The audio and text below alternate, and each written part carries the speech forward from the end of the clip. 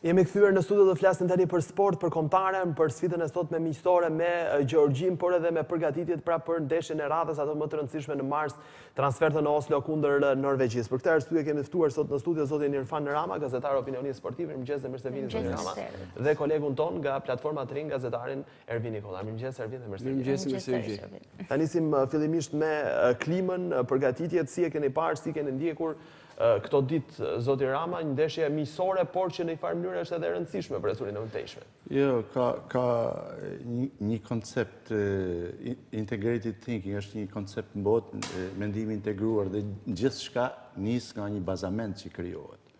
Pra, nga bazamenti, pastaj vazhdohet në formë spirale shkallë shkallë deri derisa të arrihet progresi. Kështu që edhe ekipi i De Biazit që me marrjen e tij në dhjetor të vitit 2011, pra dhe me rifillimin e ndeshjeve miqësore dhe ndeshjeve zyrtare të tij me datë 12 shkurt 2012, e dymbëdhjetë, pikërisht Kombëtarja e De Biazit ka ardhur gjithmonë në mënyrë të progresuar. Po ta shikosh, po ta kundrosh në mënyrë kështu artificiale dhe jo në mënyrë natyrale, do thuash që skuadra e De Biazit ka një ngritje të lehtë. Por skuadra e De Biazit është ka ka një ngritje shumë shumë të madhe për sa i përket fillesave të tij me ekipin kombëtar. Vetëm po të krahasojmë dy ndeshje, meqenëse luajmë sot me Gjeorgjinë, vetëm po të krahasojmë dy ndeshje. Gjeorgjinë, Gjeorgjinë e njëzetenëntë shkurtit të vitit të kaluar me Gjeorgjinë sot ose me Kamerunin. ndeshjen e fundit njëmbëdhjetë nëntor një mijë e nëntëqind e dymbëdhjetë. Po t'i krahasojmë këto dyja, ka një disnivel të madh. Qoftë në konceptin e skuadrës, qoftë në grumbullimin e elementëve, qoftë në konceptin e shifrave statistikore, qoftë në konceptin taktik, Qoftë konceptin përmbajtësor, qoftë koncepti teknik, ka ka një varg ndryshimesh të saj. Në qoftë se me Gjeorgjinë ne kemi realizu vetëm një gjujtje në pjesë parë dhe tre gjujtje në pjesë dytë, ndryshe nga nga skuadra e Gjeorgjisë e cila arriti të gjujë në portë rreth pesëmbëdhjetë herë, vetëm një kor, një, një korne kemi gjuajtur. Edhe ajo në pjesë të parë. Kemi, kemi lanë vetëm një asist. Kemi bërë vetëm, vetëm tre, tre kalime ose sulme nga krahët që është krejt paradoksale, po ta krahasojmë thjesht me Kamerunin. Pra ju thoni që ka një rritje Kameruni për shembull ndeshja me Kamerunin, sidomos pjesën e dytë, jo në pjesën e parë, skuadra shqiptare arriti një nivel të lartë. Po të krahasosh, domethënë, Kamerunin, po marrim Kamerunin, nuk po, nuk për momentin nuk po hyjmë në ndeshjet zyrtare që ka bërë katër ndeshje pra zyrtare për eliminatore, mhm. por po themi vetëm me Kamerunin që është dihet skuadra e të madhit Roger Mila, domethënë mhm.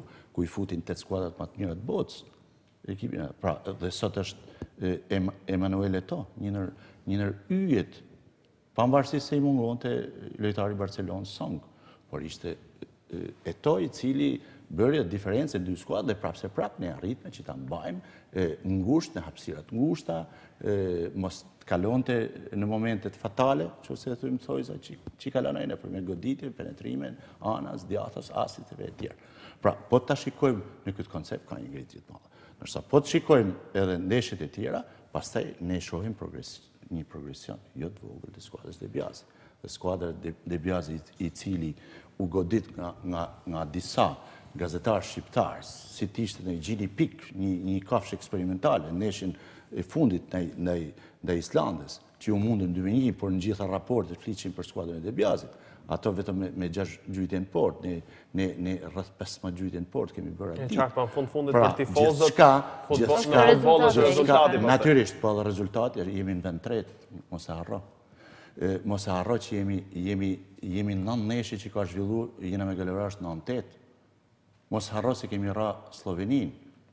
Po është një gjë e mirë të paktën zoti Rama, se me të gjithë trajnerët e mëparshëm e mbaj mend që vetëm i thureshin lavde nga të gjithë gazetarët, të paktën të ketë një presion pozitiv. Pikërisht, presioni duhet të jetë pozitiv, jo negativ. Mhm. Siç bënë mas ndeshjes me i dhanë valigjet atij. Mhm. Ai po të humbte me Slloveninë, i dhanë valigjet. Po ai është ndër trajnerët më të mëdhenj sot në Itali, të paktën është, mhm. s'po them më të mëdhenj, por por mbi mesatare, ndër trajnerët e Serisë A.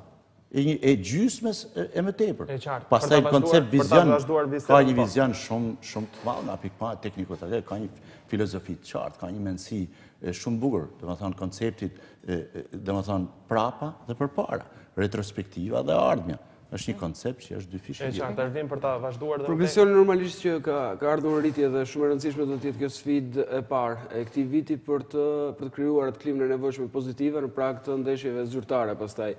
De Biazi normalisht që ka bërë një punë të mirë dhe tashmë nuk duhet vënë më në dyshim, le ta shohim si një ishull të izoluar atë që ndodhi pas ndeshjes me me Islandën. Normalisht e vunë në kryq, por pastaj gjithë do të të gjithëve iu desh të korrigjoheshin disi pasi ky trajner i cili dështoi në thonjza me, me Islandën, pastaj diti të marrë tre pikët me një fitore minimale. Kjo ndeshje ndaj Gjeorgjisë mund t'i shërbejë trajnerit dhe gjithëve ne për të bërë atë krahasimin me një vit më parë, ashtu siç e tha dhe Irfani, sepse pikërisht është i njëjti kundërshtar, kemi bërë një ndeshje të dobët, atëherë kemi dështuar pasi humbëm, Ndonëse ishte një miqësore, por Kombëtarja sonte ka mundësinë për të treguar të tjera vlera, ka mundësinë De Biazi për të treguar dhe për të rikthyer në vëmendjen e të gjithëve atë progres që ai thotë se e ka bërë. E kam fituar bastin, ka deklaruar në prag të kësaj sfide, kam fituar bastin tim me Shqipërinë dhe basti ka qenë me koeficient të lartë dhe shumë i vështirë, për sa kohë i duhej këtij trajneri të bënte atë rinovimin për të cilin kanë folur disa paraardhës të tij tek kombëtarja kuqezi. 35 lojtarë në listën totale të tij, këtu shumë lojtarë të rinj. Sonte në fushë ndoshta nuk do të shohim shumë lojtarë të rinj në formacionin fillestar, pasi edhe pse trajneri thotë se do të kërkojë të shohë gjendjen e skuadrës dhe të rinjtë që ka grumbulluar për këtë miqësore, ai normalisht që do të kërkojë ta fitojë ndeshjen, nuk e ka fshehur diçka të tillë Është e rëndësishme në ambientin tonë për kombëtaren shqiptare dhe për tifozët shqiptarë që ta fitojë këtë ndeshje. Pastaj ndoshta do t'i kalojë në plan të dytë ata lojtarët e rinj të cilët kërkon të vëzhgojë. Ka bërë grumbullime, ka ka sjellë risi në këtë kombëtare, por të mos harrojmë që për ndeshjen e sotme edhe mungesat nuk kanë qenë të pakta. Do të ndjekim fillimisht përpara se të vazhdojmë bisedën, deklaratën e dhënë Nga Bogdani dhe Cana në konferencën e djeshme për shtyp janë shfaqur optimistë, janë dy elementët le të themi baza, themeli i kësaj kombëtare, njëri në sulm dhe tjetri i zhvendosur në mesfushë në ndeshjen e sotme, ndjekim se çfarë ka thënë dhe kthehemi në studio për të vijuar bisedën. Edhe pse miqësore, futbollistët e Kombëtares Shqiptare të Futbollit kërkojnë ta vlerësojnë maksimalisht ndeshjen e së mërkurës kundër Gjeorgjisë, pasi ky takim do të jetë një test i vërtetë në prag të sfidës shumë të rëndësishme me Norvegjinë për eliminatoret e Botërorit në njëzet e dy mars. Ndeshja me Gjeorgjinë, edhe pse është një ndeshje miqësore, është vlerësuar maksimalisht. Kemi edhe atë hapin tonë domethënë që kemi ndeshje kundër Norvegjisë dhe shpresojmë domethënë që ne nga ndeshja në ndeshje të shohim domethënë çfarë rezultati do marrim dhe pastaj do vendosim dhe ne objektivat tona. Jemi një muaj e gjysmë para një sfide, para një sfide në Norvegji, në një sepse mund të them në këtë grup të gjithë jemi konkurrentë njëri me tjetrin, prandaj kjo ndeshje që e kemi një muaj e gjysmë përpara duhet ta shfrytëzojmë që të përgatitemi jo vetëm në aspektin jo vetëm aspektin e Sa në aspektin e lojës, po sidomos në aspektin e mentalitetit që do sjellim në ekip kombëtar. Ndërkohë Kombëtarja është plotësuar me afrimin e dy lojtarëve të fundit, Lila dhe Vila, ndërsa vazhdon stërvitjen në prag të miqësores me Gjeorgjinë. Për këtë ndeshje skuadrës do t'i mungojë një numër i konsiderueshëm lojtarësh si Mavraj, Dallku, Kukeli, Hyka, Meha, Çani dhe Salihi, ndërsa De Biazi i ka zvendësuar me Hysajn e Empolit, Osmani, Dushku, Vucaj dhe Muzaka. Ndoqëm dhe këtë kronikë përgatitur nga kolegu Andi Nura, në fakt mungesat janë të shumta në këtë ndeshje. Po, mungesat janë shumta, po janë edhe prurje të reja që janë mjaft perspektive. Sepse, po të shikojmë pak mesataren e skuadrës shqiptare, domethënë për këtë ndeshje është 25.4, po, pothuaj vite edhe Fjala vjen Dallku, ndonjë tjetër shkon edhe më shumë. Skuadra shqiptare për mu duhet sërish të rinovohet. Çfarë ka bërë De Biazi? Se po në atë që tha dhe pikërisht Cana te shi, elementi konkurrent. Ka kriju një konkurrencë të madhë. Ai ka 22 lojtarë, ka 11 vende. Pra, për çdo pozicion ka nga 2 lojtarë. Madje ka dhe më shumë, se po, po t'i hedhësh me shpejtësi një, një këndvështrim ekipeve të tjera, ekipeve të tjera moshore, po të marrësh vetëm 19 vjeçarët e Strakoshës. Rrahen 3 me 1, domethënë me 14 tetor të 2012, rrahen Belgjikën me rezultatin 3 me 1. Po të rrahësh Belgjikën, Belgjika rrahi Bjellorusinë, Belgjika rrahi Italinë. E eliminoi dy me një që kishte yje. Pra Italia kishte yje. Padovani e, e lojtarë të tjerë, Frediani e tjerë që ishin lojtarë yje. Dhe kur vjen puna, skuadra jonë krijoi një spektakël të vërtetë në ndeshjen 3 me 1 ndaj Belgjikës. Belgjika që u kualifiku. Aty ka lojtarë yje ky dhe e vetmja e metë për mua që ka De Biazi është pikërisht mosthithja e këtyre lojtarëve të rinj. 18 vjeç e bleu Kovaçeviç, e bleu Interi dhe e futi menjëherë në ndeshje. Do thuash po është Inter ai. Po ky është trajner me konceptime italiane dhe me konceptime botërore. Është e padiskutueshme që duhet sërish rinovim. i ekipit kombëtar. Rinovim, rinovim, por rinovim me mendësi, rinovim i skuadrës, edhe në konceptit, konceptit fizik, tekniko-taktik, se mund të jesh edhe 36.1 muj që është, është pikërisht, është Bogdani, por mund të lujnë sërish shumë mirë, mund të lujnë si 20 vjeçarë. Ose mund të jetë si tridhjetë vjeçari Cana, i cili sa po mbush tashi ose Curri e tjerë, por mund të luajnë si njëzet vjeçar. Por mund të ketë lojtarë të tjerë, siç kemi pas edhe në kombëtaren e pikërisht e trajnerëve të tjerë, të cilët ndonëse kanë qenë tri, nuk kanë pas nuk kanë pas vigjilencën, tekniko-taktike në një ndeshje futbolli, rrezikshmërinë, aspektin e konceptimit, fantazinë, asistin,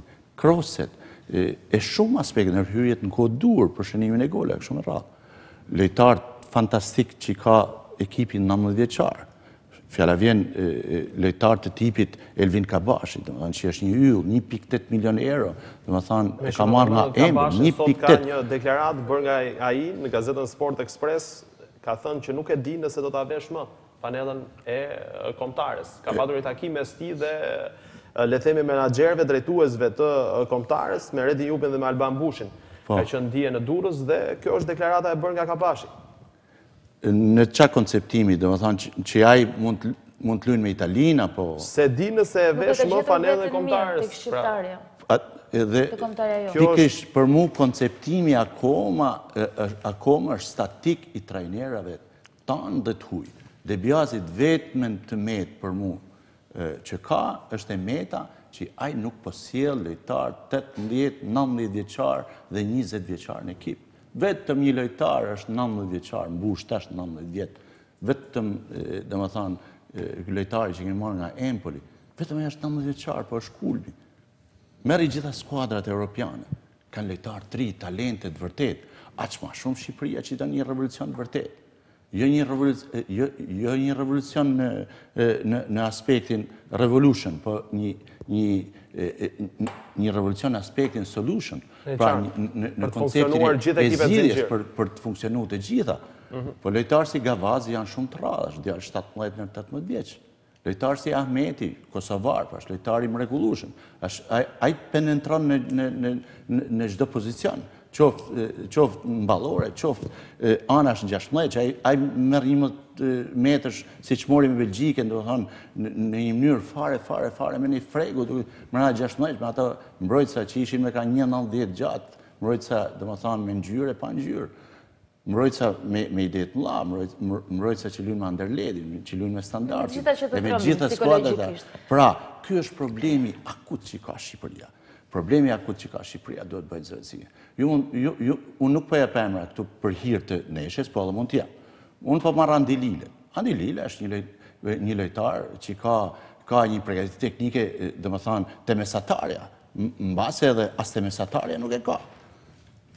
Ose le t'marrim disa lojtarë të tjerë, domethënë, që lujnë, domethënë, edhe në mesfushë, t'tjerë, janë, janë lojtarë më tepër potent, më tepër fizik, po që, që ka momente që, që në 5 minuta, 7 minuta, jo ka momente, momenti, momenti i përhershëm i skuadrës shqiptare, në qoftë se do arrijmë rezultat, duhet t'jetë teknika e lartë. Ti merre atë mbrojtës, merre at Sykun, Sykun që luan me Udinezen është një nëntë e katër i gjatë dhe në minutën e nëntëdhjetë e tre ai bën një goditje fantastike nga nga një kalim nga krahu i djathtë, cross, ky u fut me gjithë top thuajse në rrjet. Pra, edhe lojtarë të tjerë të mrekullueshëm. Normalisht që për trajnerin momentalisht është e rëndësishme që të zgjidhë këto hallet kryesore që ka për momentin, teksa së fundmi federata vendosi që T'u bëjë thirrje nëpërmjet një vendimi, atyre që kanë ndërmend të luajnë për Shqipërinë, të vijnë të luajnë për Shqipërinë, ata që refuzojnë një herë ftesën, nuk do të mund të vijnë më të luajnë për kombëtaren shqiptare. Kjo ky është një vendim i fundit, por në fakt ka pasur disa raste të lojtarëve të cilët na kanë lënë të gjithëve në pritje të vendimit tyre nëse do të vijnë të luajnë për Shqipërinë apo jo dhe ndoshta këtu është rrëmbyer pak De Biazi për të studiuar këta talente të tjerë të rinj që mund të luajnë kudo nëpër Europë. Në fakt, për sa i përket shqiptarëve, talente ka sa duash, talente ka pafund. Ndaj është një detyrë e vështirë për këtë trajner që t'i grumbullojë të gjithë. Për momentin duhet që ai të arrijë perfektën, aq sa mund të arrijë, për sa i përket gërshetimit të lojës mes brezit, nëse mund ta quajmë të vjetër, të lojtarëve që ka aktualisht Kombëtarja dhe të rinjve që ai po provon ndeshje pas ndeshjeje. Edhe kjo është një një provë e rëndësishme, është një provë e rëndësishme për të gjithë, edhe për Elseid Hysajn, lojtari i ri që është marrë nga Empoli, por edhe për Vucajn e kampionatit shqiptar do të jetë një ndeshje e rëndësishme nëse do t'i jepen minuta. Të shohim si do të do të veprojë sonte De Biazi dhe cila do të jetë gjetja e skemës tij për sa i përket kësaj ndeshje. Normalisht që fitorja duhet, por tifozët kanë nevojë të shohin dhe këto fytyrat e reja të afruara nga trajneri. Për të prekur pak që të fitojmë sonte. Po, natyrisht. T'i urojmë suksese kombëtares dhe të prekim pak në fund edhe çështjen e basteve, skandalit basteve që ka përfshirë gjithë, po, Europën, janë përmendur edhe, po, dy klube, po, shqiptare, Tirana dhe Vllaznia. Po. Në një intervistë presidenti i Europolit pat një deklaratë shumë të fuqishme sepse nuk është problemi se janë vetëm treqind e tetëdhjetë ndeshje të cilat janë të, domethënë të të trukuara, po është problemi gjashtëqind e tetëdhjetë ndeshje të cilat janë dyshuese. Ky është problemi. Janë pesëdhjetë veta sipas CNN-it, pesëdhjetë veta janë janë janë të arrestuar. ose janë rreth rreth trembëdhjetë mijë imejle që që lidhen direkt me me me konceptimin korruptiv e shumë probleme tjera. Është, domethënë është një ngjarje shumë, është një ngjarje e rëndë për futbollin botëror, aq më shumë për ne, për po, për futbollin shqiptar, i cili është është gangrenë e plot në konceptin korruptiv. Qoftë, qoftë konceptin e e asaj lënies në formë miqësore që quhet, që është turpi i botës, kur në një neshje futbolli s'ka ekip në botë, edhe këto 380 neshje që janë trukuara, absolutisht po të shikosh në neshje ti, ti nuk i dallon. Nërsa në Shqipëri, jo i dallon, po të hapin portën nga gjitha pikëpamjet. është turpi i botës dhe gjëja më e keqe në Shqipëri që s'merret prokuroria, i vetmi organ në gjithë botën, edhe në Somali merret prokuroria me këtë punë, nërsa tek ne nuk merret organi prokurorisë që është organi më i rëndësishëm i kësaj punë, Pra, në qoftë se Federata ja përcjell prokurorisë, sepse ne shqiptarët jena në thojza, jena mbi të gjithë, atëherë prokuroria është, është, është konceptimi zyrtar, është konceptimi juridik i, i kësaj çështje, e cila duhet të merret dhe duhet të, të, të provojnë të paktën të shkojnë, jo në bankë të akuzuarve, po të paktën të ulen stol ca njerëz me, me ca burg, gjoba minimale. Normalisht që fakti që edhe skuadra shqiptare janë të përfshira nuk mund të përbëjë lajm krahasuar me të gjitha ato ndeshjet e tjera të cilat janë të dyshuara. Fenomeni është shumë shqetësues. Europoli doli dhe dha shifra për ndeshje të dyshuara apo edhe ajo shifra më e madhe për ndeshje se dyshohet se mund të jenë të korruptuara apo të paravendosura, por fenomeni është shumë shqetësues, ndoshta është më i përhapur edhe më tepër nga këto shifra të, të publikuara. Normalisht që është një goditje e rëndë për futbollin botëror, gjithçka ka dalë së fundmi nga hetimet e Europolit, të shohim si do të shkojë situata, por normalisht nuk mund të shqetësohemi nga nga nga përfshirja e skuadrave shqiptare, pasi këtu për shitje ndeshjesh flitet prej vitesh, ndonëse mund të mos jenë të shitura, janë thjesht tolerime, ndërsa në në Champions apo në kompeticione të tjera kontinentale të ketë të tilla fenomene normalisht që pastaj Goditja është më e madhe dhe më e frikshme. Po dhe në Champions, domethënë, këtë edicion, ka dy ndeshje në Champions. Ka ndeshje në kualifikim. Po, pse, pse, pse shkojmë, domethënë, tash, le të kalojmë vetëm një porcion të vogël kohor, ndeshjen me Sloveninë, ndeshjen me Cërë që i humë me dëmi. Ai ishte e shitun absolute. E qartë. Mirë. Ju falenderojmë të dyve, folëm sot për kombëtaren, por edhe pak në fund për skandalin e basteve që ka përfshirë gjithë Europën. Ishim me zotin Irfan Rama, gazetar opinionist sportiv dhe me kolegun tonë, mikun e emisionit Zip, Ervin Kollën nga platforma Tring. Faleminderit edhe një herë. Do të kemi një shkëputje publicitare tani, do të rikthehemi pas pak për të folur për sigurinë e internetit.